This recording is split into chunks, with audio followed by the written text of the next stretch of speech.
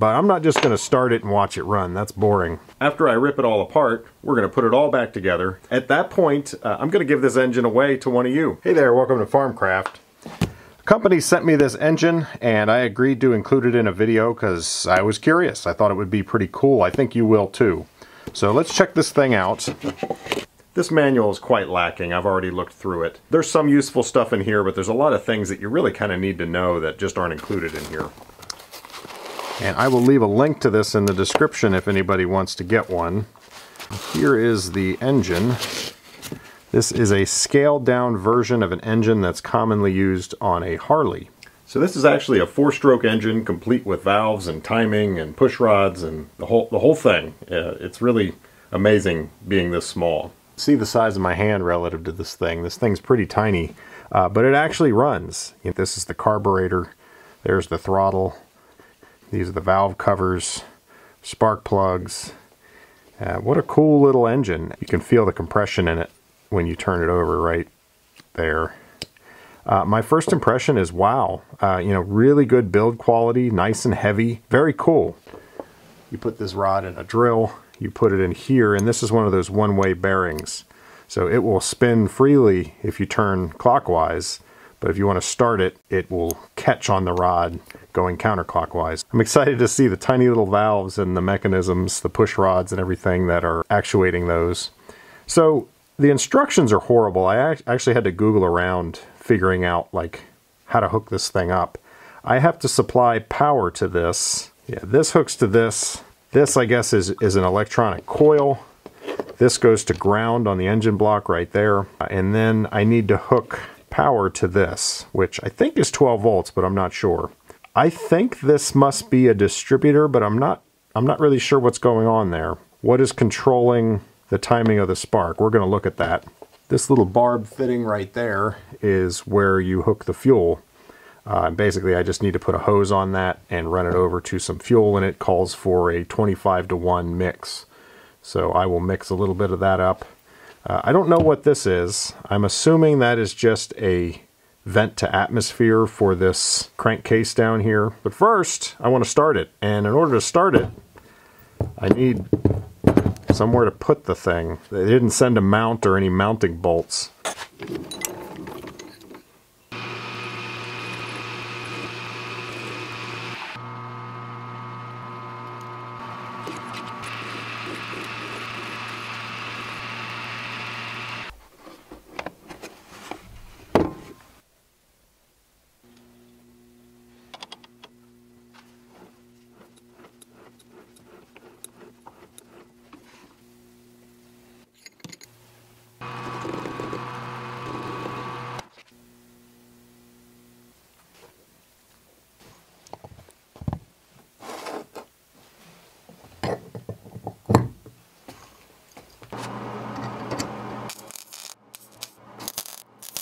Now we have a solid base that we can uh, work with to try to get this thing started. So the electrical system needs to be grounded to the block and they give you this little connector here and a ground screw but the screw's too long.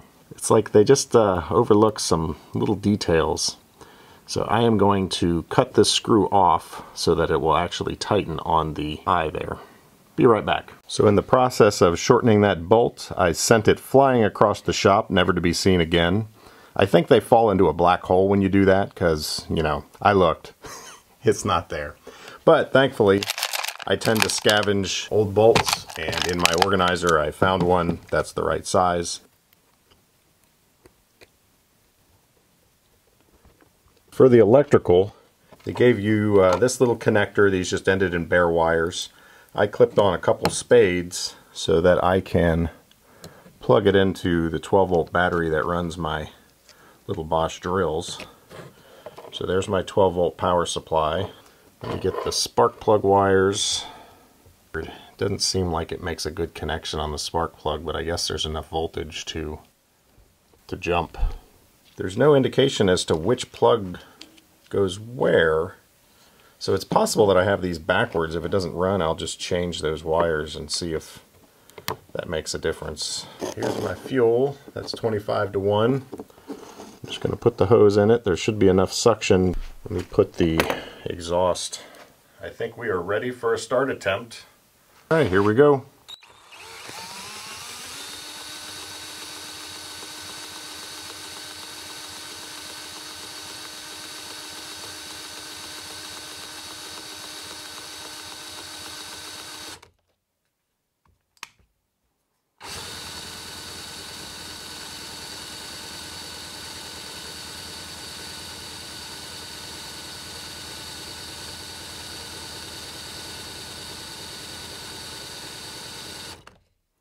betting you I have no fuel.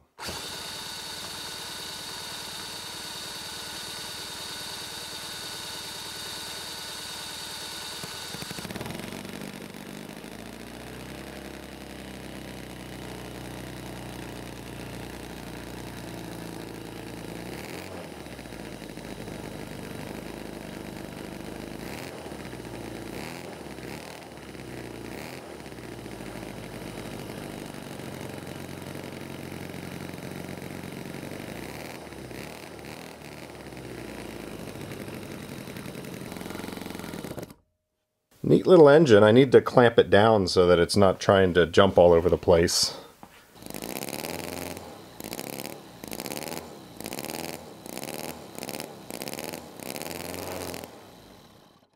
I am really impressed.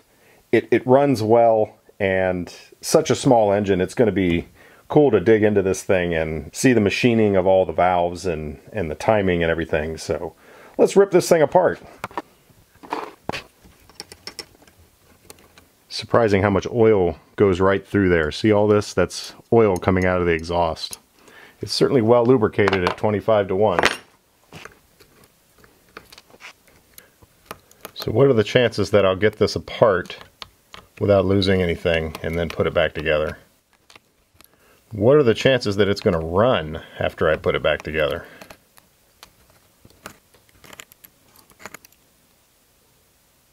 Little gasket.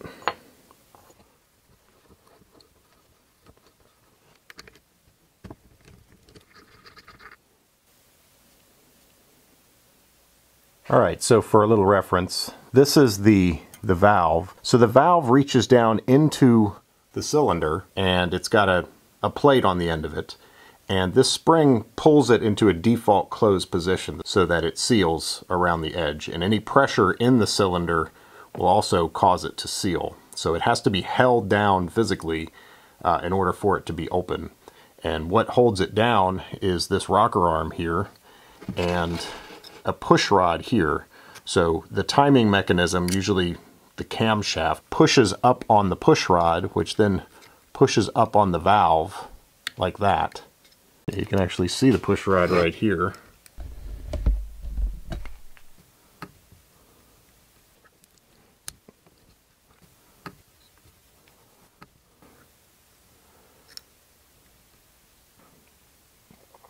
This is our push rod. Make sure they're the same.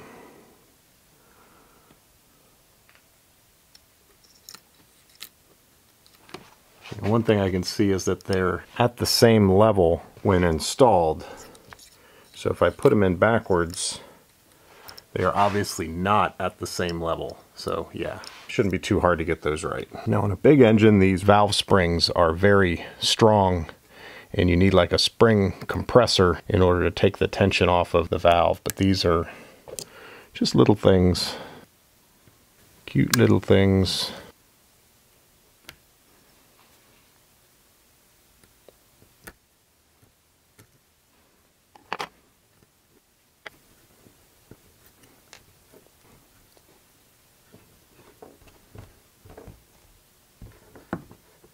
My valves just fell down in there so the engine will not turn over. I've got to get that head off of there, which is these bolts here. That's going to be tricky because there's not a lot of room. I may have to take this guy off of there just to even get to that bolt. Well, that's not what I was expecting. What's going on there? Nothing. That's just a uh, basically a cap to guide that wire.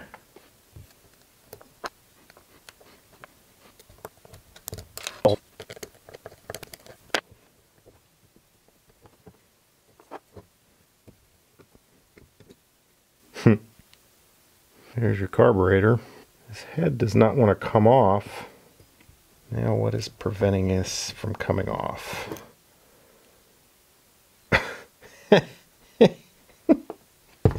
Might be the bolt I left in there. I don't know. Let me think.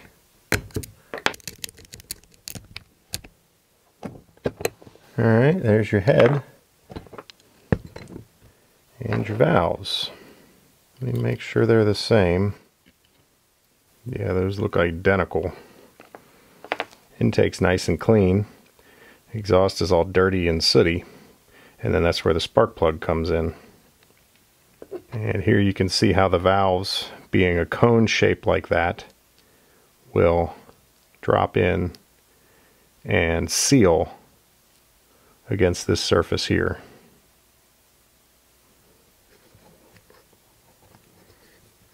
And there you can see the piston doing its thing, well lubricated. My pinky just fits in there. That's quite a cylinder. You know, before I take that off, because at that point it's going to be harder to spin the engine over, let's pull this cover off and take a look at our timing and what's generating the spark.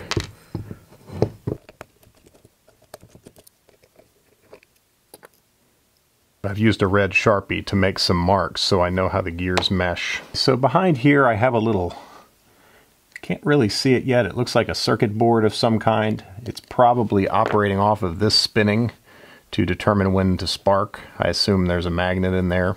Uh, unfortunately I was fiddling with it and I'm not positive that this one is correct. This one could be off a tooth. So if I have a problem I should come in here and go one way or the other with this gear like that. But now that I know how it goes back in, I can take this out. Can you see the cams right there? As those spin around, they are going to push these up and down. Like this lobe right here, when it gets around, is going to push on this push rod like that. Yeah, I'm going to take the head off of this side and just leave the whole upper assembly intact but that will get that out of the way and get these push rods out of here.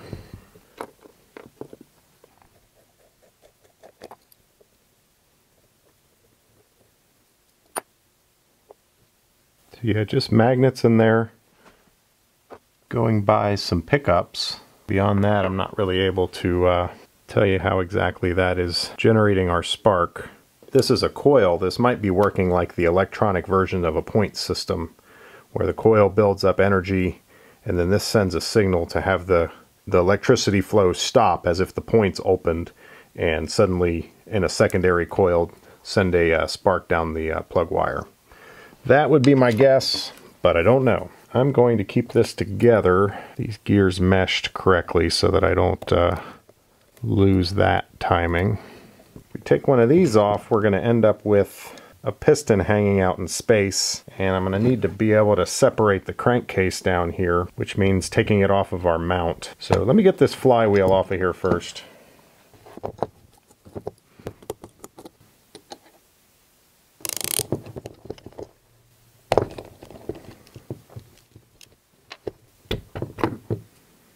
Good little key. Let's not lose that. Alright, I am going to drill out my welds so that I can uh, get it off of this mounting plate.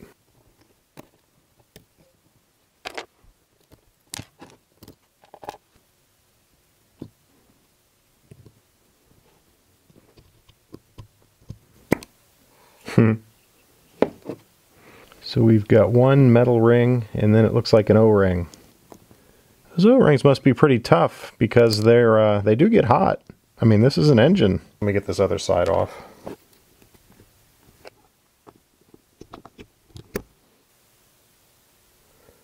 I don't know if you can see, but there is a nice crosshatch pattern in the cylinder. Looks really good. Hmm. You can really see how the up and down motion of the pistons translates into rotational. All right, let's open up this crankcase.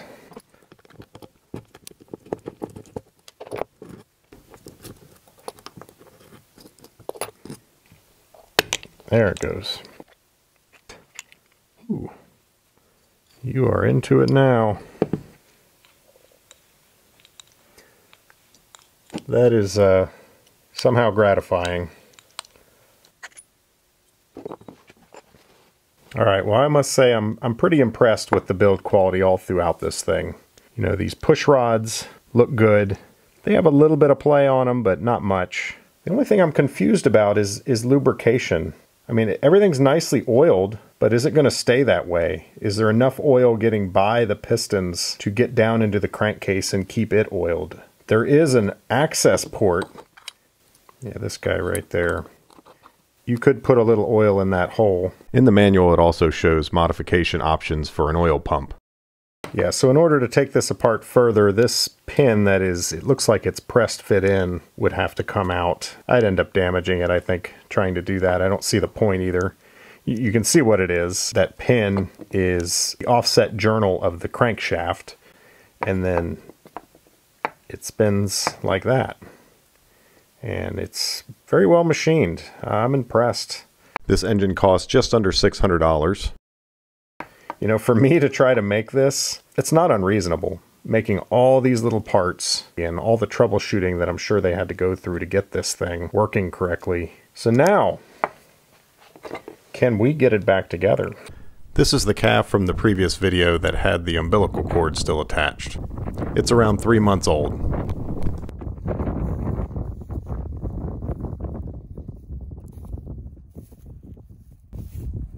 What do you want? Hmm? What do you want? Scratch on your nose?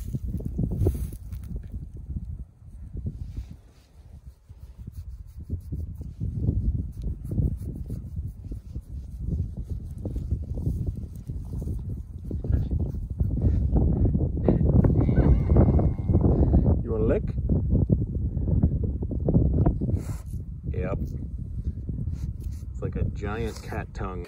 I really think the guy or, you know, whoever's the mind behind all this loves engines and really tried to do a good job and did do a good job, but got to the end and didn't feel like fooling with the manual and instructions and uh, some of the final details. You know, typical man. Get it running and then you're done. Just a little bit of extra work and a, a, better manual, which I would even help them write if they contact me and they want uh, they want some help getting it right. Um, I think this thing uh, this thing's pretty cool. Hmm. Don't need a ring compressor for that.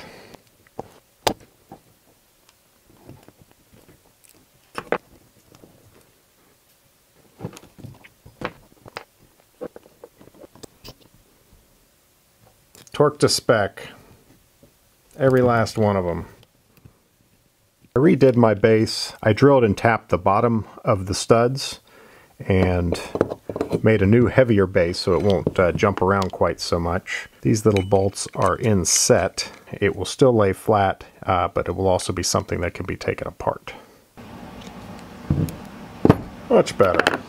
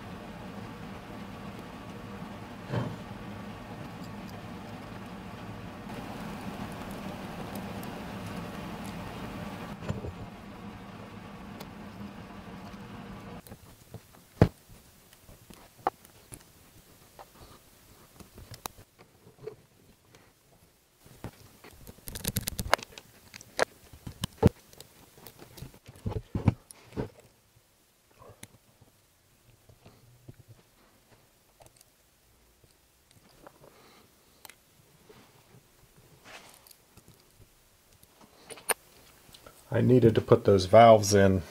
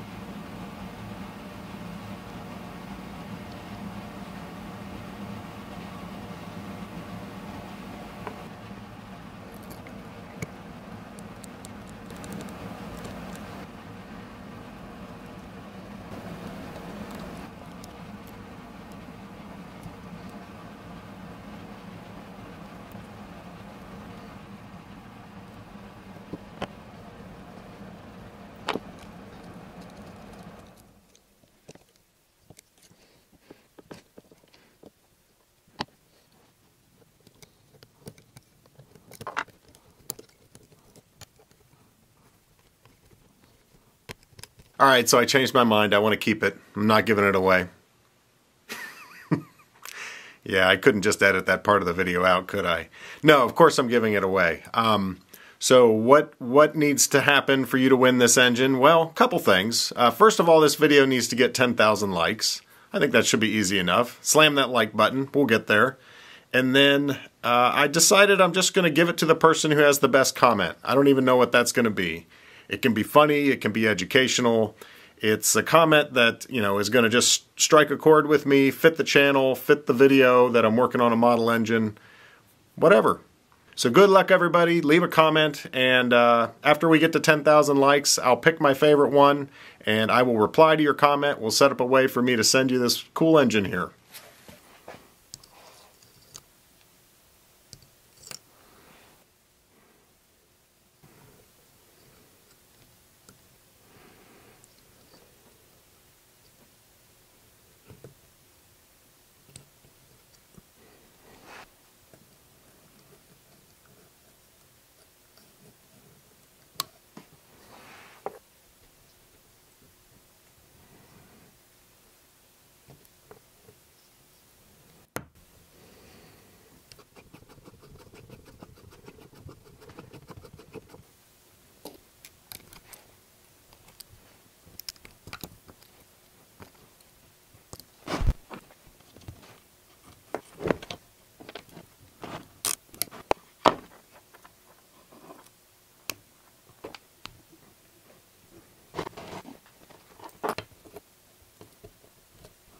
So I was just about to try starting and I decided to give it a spin just to make sure nothing was hitting and I am not getting the compression a little bit. So I'm pretty sure I am off a tooth on my uh, timing gear.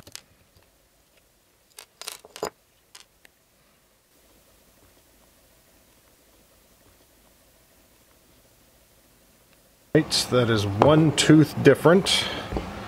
Let's see if we get better compression now.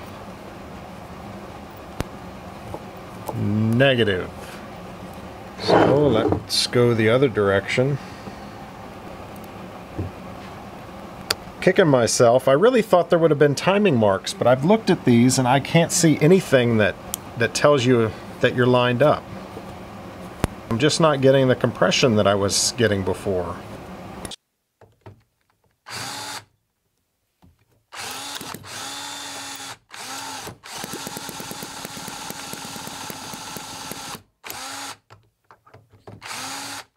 Hmm.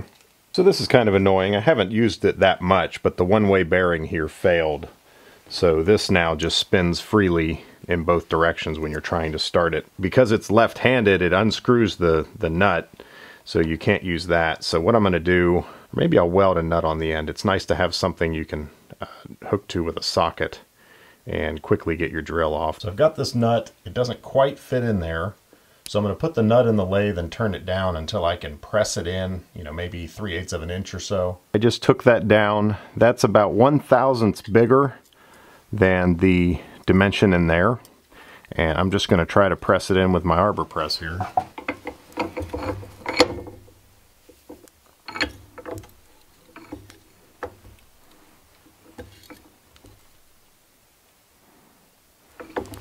Nice. Now I'm just going to do a few little welds around the edge just to keep that locked in position.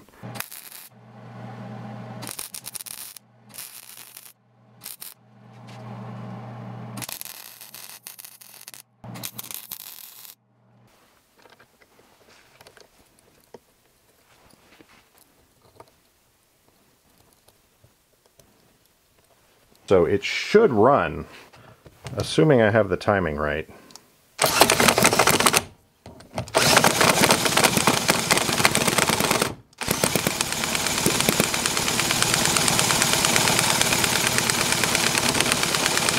You really learn an engine when you have to do the timing, especially when you're doing it without any instructions. I wasn't confident that I got these gears back in the right position, so I thought through how to do this. It's all mechanical, it's not that hard to do. This gear controls the camshaft, which is behind it, um, or that is the camshaft right there, the cams are behind it, and these are the push rods inside these tubes here And this is the crankshaft. This determines the position of the pistons. They're just going up and down. This determines when the valves open and close. So the position of this gear relative to this gear is crucial. It has to be right. And the way to tell... It's actually pretty easy. I need to be able to follow the piston and watch the valves. Now this is the intake valve because it's over here by the carburetor. This is the exhaust valve because it's over here by the exhaust pipe. So what I'm going to do, I've got a little piece of plastic, won't damage anything. I'm going to push it down against the top of the piston. And then I'm going to rotate the engine in the proper direction and we're going to watch the valves. So nothing happening. So that must be my compression stroke because nothing's happening there as the piston is coming up. So there it's at the top. Now we're heading back down. So that would be the end of the power stroke. That means the next thing that should happen is right at the bottom, which is about where I am. The intake valve, no, the exhaust valve should open. There, did you see it actuate? So it just exhausted, now it's at the top, and the intake valve should open. There, the intake valve opens. Okay, so now I'm at the bottom, we're ready for compression, so both valves should be closed, and they are. Now the spark plug should fire. Now we're back at the bottom and the exhaust valve is opening. So if the valves were opening either early or late, I would just rotate the gear to make them open at the proper time. And intake. Compression, power, exhaust. Intake, compression, power, exhaust. There. Valve timing is correct. Now let's look at the spark timing. First I confirmed that both spark wires fire at the same time. This means it doesn't matter how the plug wires are connected, they will work on either cylinder. Now this is what controls the timing of the spark. And it's done electronically, but there's two magnets on this gear here. Behind it there is a Hall effect sensor. It's basically a little circuit board. We looked at that. Um, and when the magnet goes by it, it produces a spark. But is there a delay? exactly what time does the spark get produced? Because the spark needs to occur right now, right when this thing is at top dead center. And I don't have any way of knowing that it's occurring at the right time, except it occurred to me I can use a camera to do that. If I put a camera on this and have the spark wire over here sparking to the block, I'm going to be able to see when it sparks.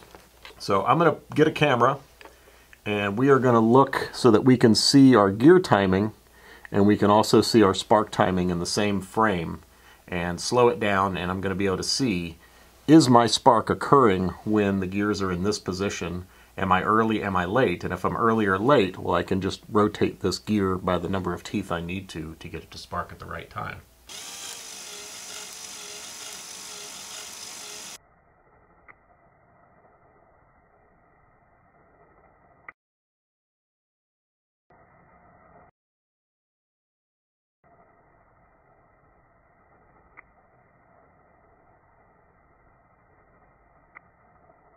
Well, this is even a little easier than I thought.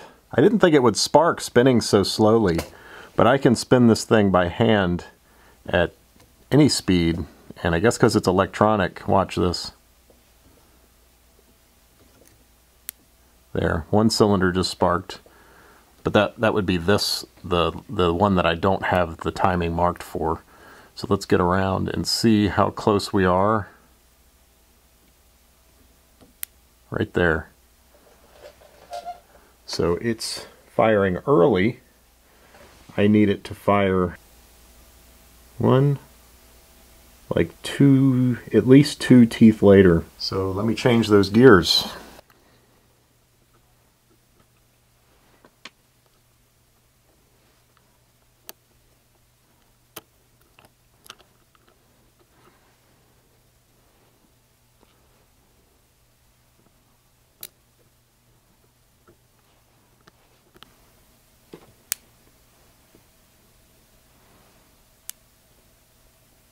Still a little too early. Okay, let's check it again.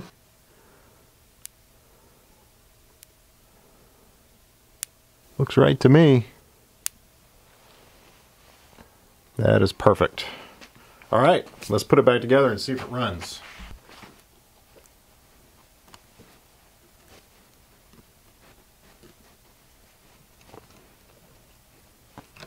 All right,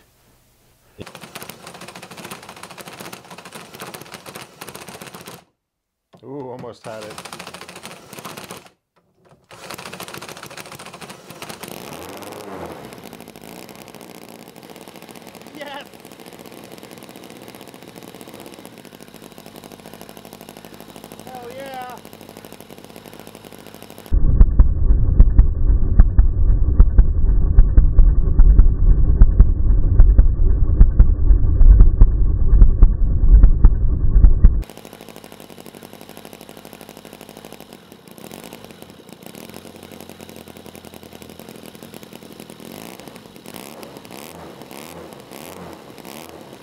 Thing runs good.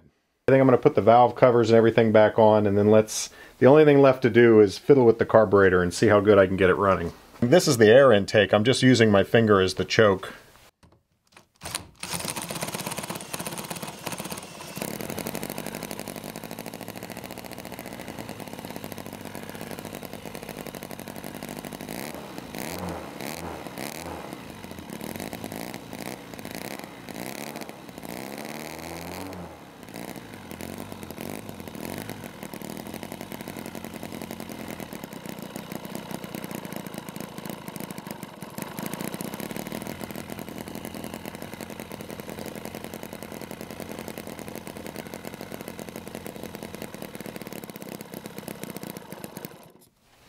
the carb isn't real responsive. It's kind of hard to tune it to exactly where it needs to be, but I think it's it's running well.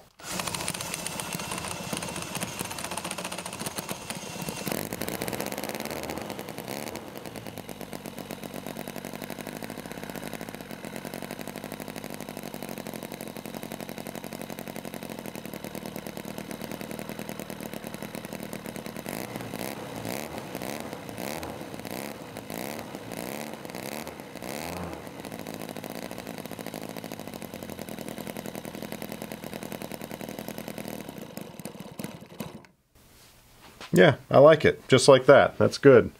So some of the things I wish they had included in the manual. This, they should have said you need to hook this uh, from 6 to 12 volts. I was having a problem at one point because the battery on this drill, even though it says it's 12 volts, it actually says 10.8. Uh, but if you actually measure it, it's more like 14. So I think I was over voltaging this and I was not getting a spark with that. What I found works best is 6 volts. So I've got this uh, battery charger set to 6 volts and I'm just using that as a power supply. You could also use, you know, AA batteries or, or any batteries. Uh, it, this needs very little power. How to check for spark? Well, as we've seen, this thing sparks no matter how slow it's spinning, which is really useful. And you can actually see through these boots here. So if you just take this wire and pull it away from that plug a little bit, and then very slowly turn the engine. There, did you see that spark? I'm hoping that showed up. I saw it. So you can confirm that they're sparking just by doing that. The other thing is, this right here is your carburetor adjustment screw. You may need to adjust that once you get it running um, to idle the best and to have the most uh, throttle response. It is adjusted from the factory, so you probably don't want to mess with it right off. You want to get it started first.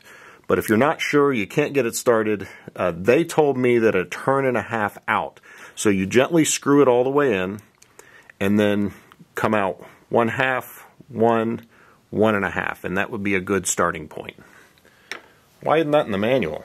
Yeah, my overall assessment is this is a this is a cool model engine. If you're interested in something like this, uh, I would recommend this. And if you really want to learn how engines work, there's nothing better than tinkering and taking it apart and, you know, fiddling with the carburetor and fiddling with the timing and, and all that kind of stuff. Um, so I, I, would recommend stirlingkit.com. Um, thank you guys for sending this to me. And I, I, would definitely recommend to someone if they're interested to buy something from them. Uh, they have a bunch of different engines over there. So I'll leave a link in the description. You guys go check it out.